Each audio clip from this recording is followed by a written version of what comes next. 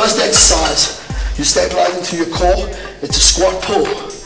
Now, make sure, key coaching tip, if your back, if you lose the C position in your back, if you bend forward, you are no longer athletic.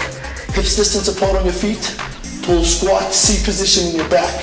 You're working some of your back muscles, your external, you're working your posterior delts, your core stabilizers, your legs, and your glutes. Great exercise.